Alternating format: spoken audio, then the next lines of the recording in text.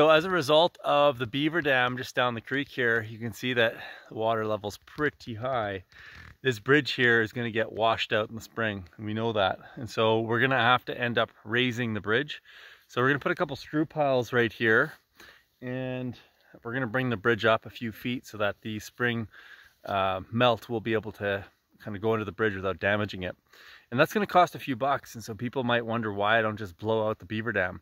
But all of this water would have cost me literally tens of thousands of dollars to have an earth mover and geotextile liners in place uh, in order to be able to harvest this water. So this is really representing the resilience of the farm. I can't find my hand in this video, it's opposite.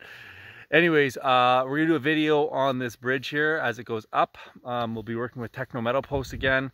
And so I'll show you how we use piles to bring that bridge up. And uh, then we're gonna get access to all that water um, for a resilient farm.